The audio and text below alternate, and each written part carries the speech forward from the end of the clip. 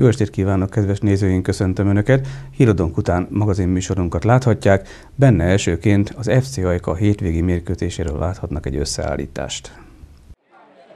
A Merkantil Bank Liga 12. fordulójában a Dunai Város FC látogatott el az FC Ajka otthonába. A mérkőzést a Kovács Gergely, Horváth Zoltán, Hofbauer Roland 3-as vezette.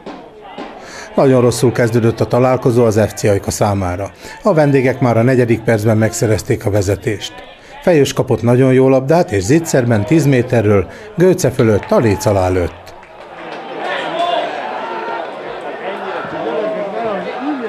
Menjetek haza!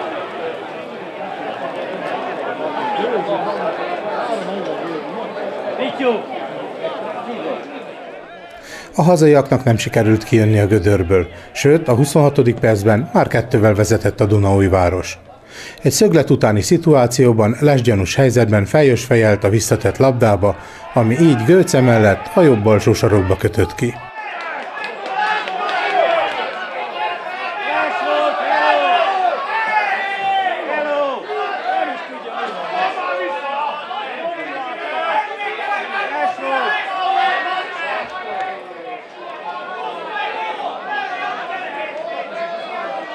Az ajkaiak támadó játéka nem működött, így nem is veszélyeztettek. A második játékrészt ugyan jól kezdték, de nagy helyzetig nem jutottak el. A csereként beálló Apple az 54. percben háromra növelte a vendégek előnyét. A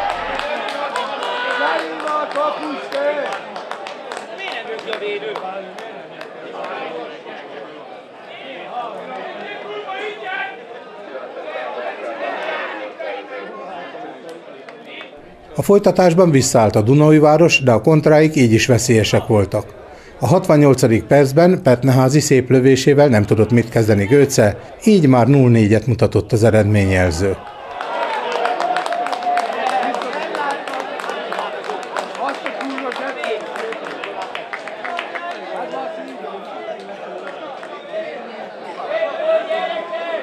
A mérkőzés végén két perc alatt két gólt kapott az FC Ajka. A 90. minutumban magasföldi volt eredményes.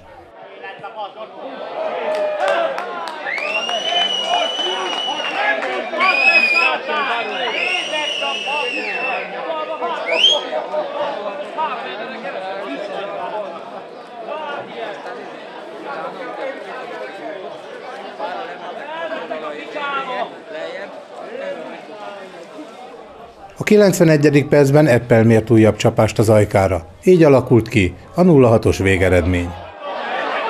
Mondtam én lesz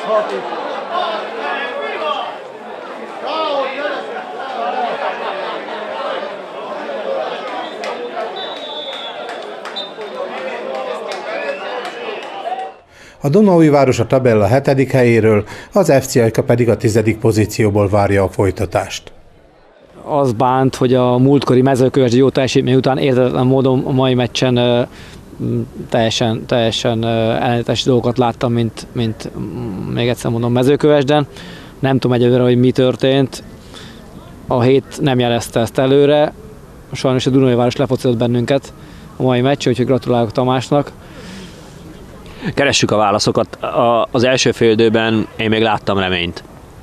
A fél időben én is azt hittem még, hogy, hogy a, a, az első gól egy kontrából jött, erre számítottam, hogy ez ugye, megtörténhet.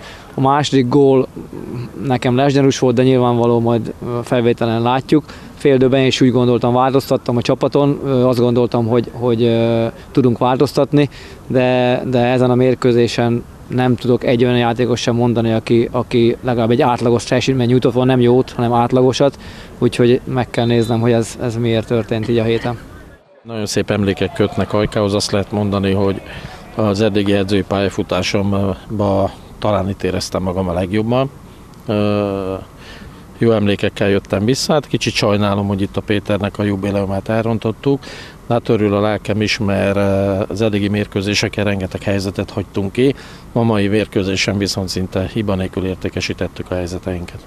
Igazából a múlt eh, mérkőzés után változtatnunk kellett, eh, mert nem volt bennünk a gól a Soroksár ellen, hiába játszottunk nagy mezőnyfölénybe, két olyan játékos tettünk be előre, akikben nagy sebesség van, ugye a Soron Tibi és a Fejős Áron, mögötte a Jakab Dávid és a, a Villám Balázs, én azt hiszem, hogy ez maximálisan bejött ez a változtatás.